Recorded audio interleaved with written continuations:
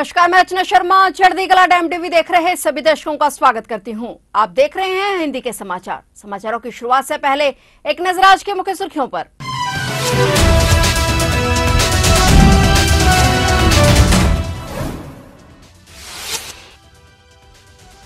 आज श्री गुरु नानक देव जी की पुण्यतिथि का दिन। श्री गुरु नानक देव जी की पुण्यतिथि पर गुरुद्वारा में पहुँची संगत। देश भर में गुरु जी की पुण्यतिथि पर विशेष कार्यक्रम आयोजित।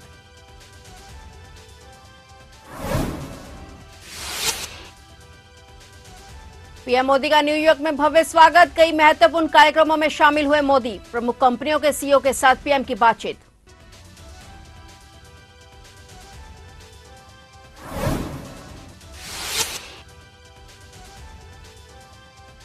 ईरान के कोयला खदान में मिथेन रिसाव से धमाका। कई लोगों की हुई दर्दनाक मौत। धमाके के समय काम कर रहे थे करीब सत्तर लोग।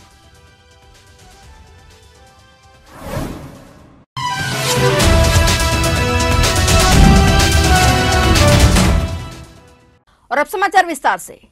सिख धर्म के पहले गुरु श्री गुरु नानक देव जी की आज पुण्यतिथि है। श्री गुरु नानक देव जी की पुण्यतिथि 22 सितंबर को मनाई जाती है और उनका जीवन और शिक्षाएँ आज भी लोगों को प्रेरित करती हैं। उन्होंने सामाजिक असमानता और जातिवाद के खिलाफ आवाज़ उठाई। उन्होंने सिखों को सेवा, भक्ति और सरल जीवन जीने की प्रेरणा दी। गुरु नानक देव जी ने लंगर की प्रथा की शुरुआत की जो समानता और भाईचारे का प्रतीक है। आज भी हर गुरुद्वारे में लंगर का आयोजन किया जा रहा है। हर साल 22 सितंबर को गुरु नानक देव जी की पुण्यतिथि पर विशेष कार्यक्रम आयोजित किए जाते हैं। हर बार की तरह इस बार भी लंगर गुरुवाणी का पाठ और भजन कीर्तन जैसे कार्यक्रम देश भर में किए जा रहे हैं। श्री गुरु नानक देव जी की पुण्यतिथि पर गुरुद्वारा साहिब में संगत पहुँच रही है और गुरु साहिब के चरणों में अरदास की जा रही है।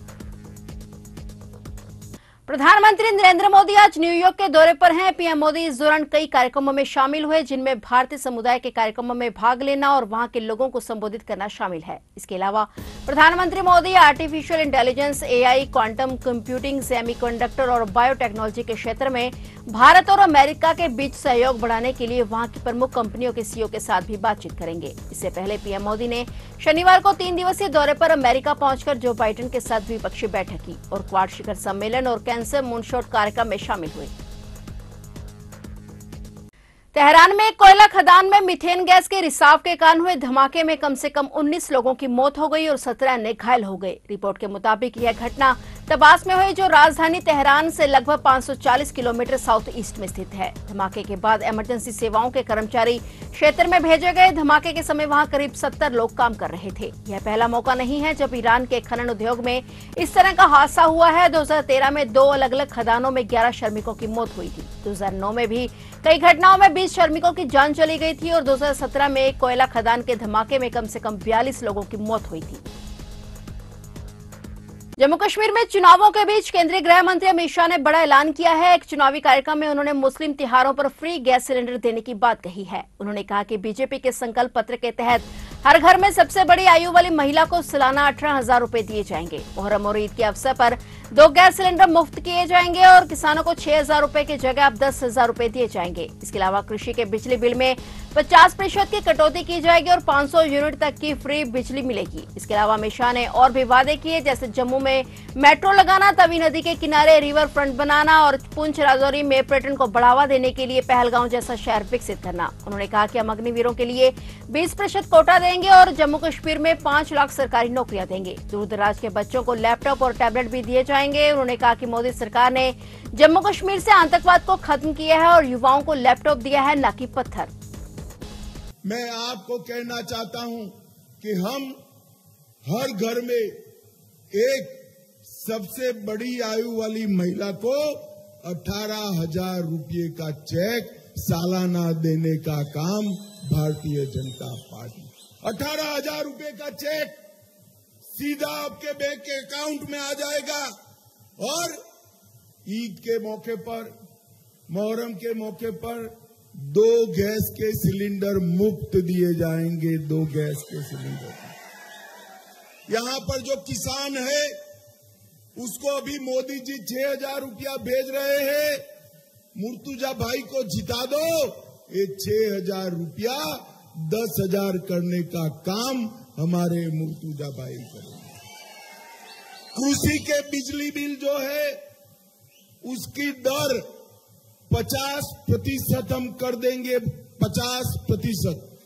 कृषि बिजली दरों की 50 प्रतिशत कटौती कर देंगे और 500 यूनिट तक फ्री ऑफ़ कॉस्ट बिजली देने का काम भी भारतीय जनता जन्नू में मेट्रो लगाएँगे तभी में रिवर फ्रंट बनाएँगे और यहाँ पर पूंछ रजौरी की पहाड़ियों में पहलगांव जैसा ही एक नया पर्यटन का शहर बनाकर यहाँ पर मेंढर पूंछ रजौरी में पर्यटन को बढ़ावा भाइयों बहनों, सत्तर साल तक इन्होंने जम्मू के इस इलाके को न्याय किया है।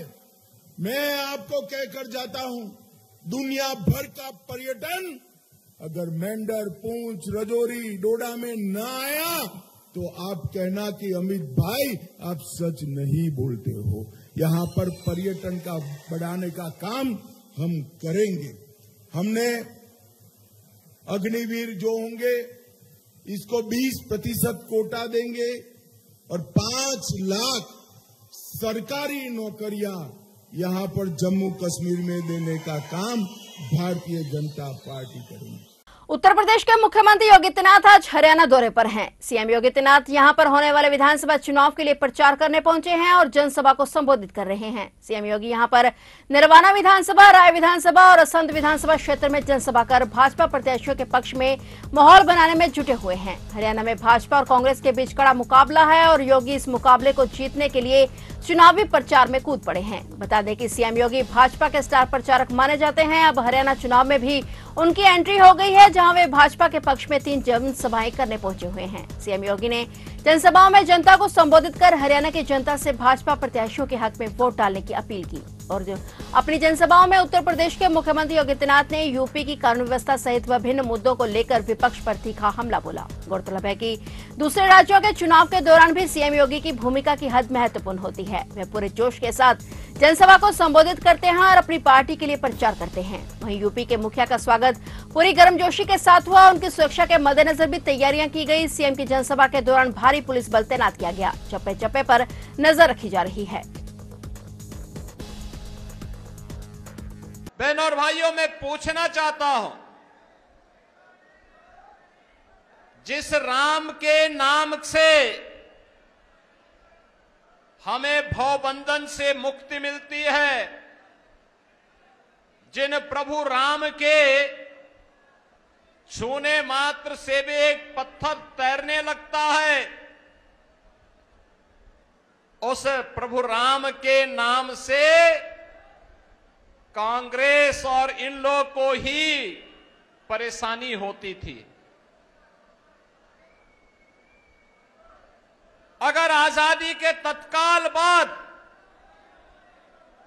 अयोध्या में राम मंदिर का निर्माण नहीं हो पाया तो इसके लिए ये सेकुलरिज्म का लबादा ओढ़ने वाले दल जिम्मेदार हैं, जिनका एक ही प्रयास था एन केन प्रकारेण भारत की आस्था का अपमान करना, भारत के महापुरुषों का अपमान करना, कांग्रेस भी और इन लोग भी लगातार जीवन भर यही कार्य करती रही। बहनों और भाइयों, इससे बड़ा और क्या हो सकता है? एक और अयोध्या में प्रभु राम लला के भव्य मंदिर का निर्माण का कार्य संपन्न हुआ, रामलला विराजमान हुए। और दूसरी तरफ़ अयोध्या के इंटरनेशनल एयरपोर्ट का नाम त्रिकालदर्शी ऋषि महर्षि वाल्मीकि जी के नाम पर करने का काम भी प्रधानमंत्री मोदी जी ने किया। बहनों और भाइयों, मैं इसीलिए कह रहा हूँ, ये कांग्रेस हो या इन लोग, ये जितने भी दल हैं, ये अपने परिवारवाद में इतने मस्त हैं। ये कभी बाबा साहब भीमराव अंबेडकर का अपमान करते हैं। कभी प्रभु राम का अपमान करते हैं, प्रभु श्री कृष्ण का अपमान करते हैं। भारत की सुरक्षा में सेंध लगाने का कार्य करते हैं। और अपने राजनीतिक स्वार्थ के लिए सुरक्षा इनके लिए कोई मायने नहीं रखती। मुख्यमंत्री की शपथ लेने के बाद आतिशी का पहला बयान सामने आया है। उन्होंने कहा कि केजरीवाल को फिर से सीएम बनाना है। आतिशी ने कहा कि मैं अपने गुरु और दिल्ली के बेटे अरविंद केजरीवाल का धन्यवाद करती हूँ, जिन्होंने मुझे यह ज़िम्मेदारी दी और इसी के साथ आतिशी ने कहा कि केजरीवाल को फिर से सीएम बनाना है। इस दौरान आतिशी ने भाजपा पर निशाना साधते हुए कहा कि अरविंद केजरीवाल को झूठे केस में फंसाया गया था, ताकि दिल्ली की सभी मुफ़्त सेवाएँ बंद हो जाएँ। उन्होंने कहा कि केजरीवाल अब जेल से बाहर हैं और हम भाजपा की साजिश को सफल नहीं होने देंगे। खैर, अब आगे देखना होगा कि आतिशी अपनी नई भूमिका में कौन सी नीतियाँ और सुधार लाती हैं और वे किस प्रकार से दिल्ली के लोगों की अपेक्षाओं को पूरा करती है। उनकी नेतृत्व क्षमता पर न सिर्फ़ पार्टी, बल्कि पूरे दिल्ली की जनता की नज़रें होंगी। इतिहास में सबसे लोकप्रिय मुख्यमंत्री अरविंद केजरीवाल जी, आम आदमी पार्टी के नेता, मेरे बड़े भाई और राजनीतिक गुरु, अरविंद केजरीवाल जी का धन्यवाद करना चाहती हूँ कि उन्होंने मुझ पर भरोसा किया और मुझे इतनी बड़ी ज़िम्मेदारी सौंपी, दिल्ली के लोगों की देख रेख की ज़िम्मेदारी सौंपी। लेकिन आज मैंने मुख्यमंत्री के तौर पे शपथ ग्रहण ज़रूर किया है। लेकिन ये मेरे लिए, हम सब के लिए एक बहुत भावुक क्षण है जब अरविंद केजरीवाल जी दिल्ली के मुख्यमंत्री नहीं हैं। अरविंद केजरीवाल जी वो व्यक्ति हैं जिन्होंने पिछले दस सालों में दिल्ली की तस्वीर को बदल डाला। आज क्यों अरविंद केजरीवाल जी दिल्ली के मुख्यमंत्री नहीं हैं? क्योंकि भारतीय जनता पार्टी की केंद्र सरकार ने अरविंद केजरीवाल जी के खिलाफ षड्यंत्र रचा। उन पर झूठे मुकदमे लगाए। उनको इन झूठे फर्जी मुकदमों में गिरफ़्तार किया। उनको छह महीने से ज़्यादा जेल में रखा। उनको तोड़ने की, उनको दबाने की हर संभव कोशिश करी। लेकिन अरविंद केजरीवाल जी टूटे नहीं। अरविंद केजरीवाल दबे नहीं।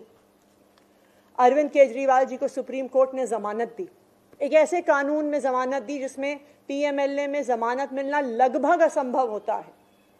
और सुप्रीम कोर्ट ने ना सिर्फ़ उन्हें बेल दी, बल्कि बेल देते हुए केंद्र सरकार के मुँह पे तमाचा मारा और कहा कि अरविंद केजरीवाल जी की गिरफ्तारी एक दुर्भावना के तहत हुई थी।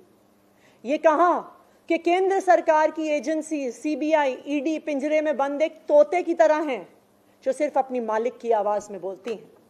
मुझे नहीं लगता कि इस देश के इतिहास में या शायद इस दुनिया के इतिहास में ऐसा कोई नेता रहा होगा, ऐसी ईमानदारी और नैतिकता की मिसाल रही होगी, जो आज अरविंद केजरीवाल ने देश और दुनिया के सामने रखी है।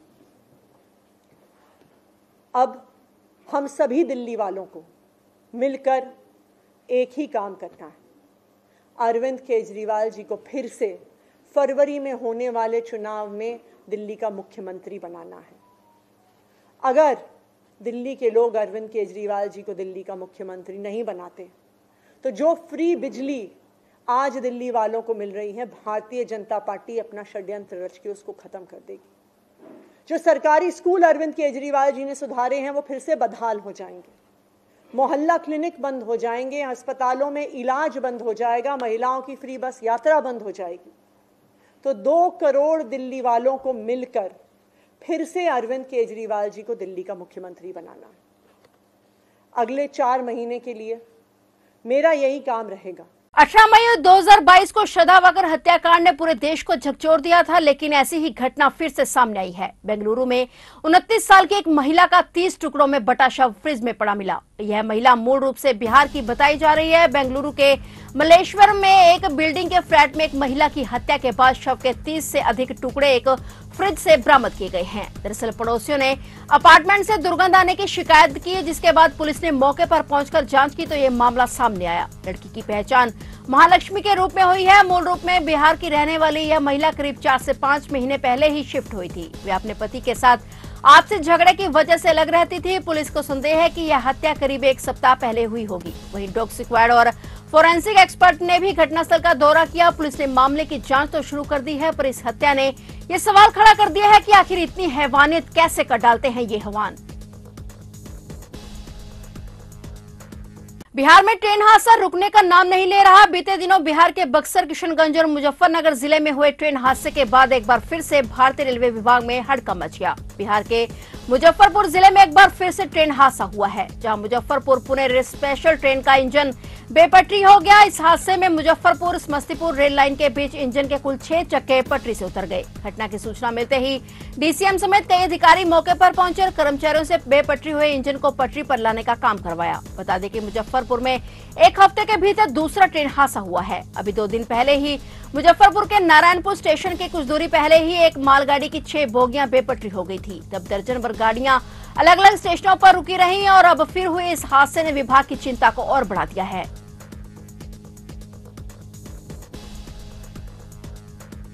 अमृतसर में एक व्यक्ति ने खुद को गोली मारकर आत्महत्या कर ली। शहर के हेरिटेज स्ट्रीट पर घूम रहे व्यक्ति ने वहाँ सुरक्षा के लिए तैनात पुलिसकर्मी की सरकारी पिस्टल छीनकर खुद को गोली मार दी। गोली लगने से घायल व्यक्ति की मौत हो गई। फायरिंग के दौरान वहाँ हड़कम मच गया और वही बड़ी संख्या में लोग वहाँ मौजूद थे जो सहम गए। सूचना मिलते ही संबंधित थाना पुलिस घटनास्थल पर पहुँचे और मामले की छानबीन की जा रही है। घटना सुबह की है जब श्री दरबार साहिब में माथा टेकने आए एक वीआईपी के सुरक्षा कर्मी से वहाँ पर घूम रहे प्रवासी ने पिस्तौल छीन ली और जब तक किसी को कुछ समझ आता तब तक व्यक्ति ने सरकारी रिवॉल्वर से खुद को शूट कर दिया। जख्मी हालत में उसे तुरंत हॉस्पिटल पहुँचाया गया, लेकिन वहाँ पर उसकी मौत हो गई। मृतक व्यक्ति प्रवासी है, फ़िलहाल इसकी पहचान नहीं हो पाई है और पुलिस मामले की जाँच कर रही है और पुलिस व्यक्ति की पहचान के लिए आसपास जानकारी जुटा रही है।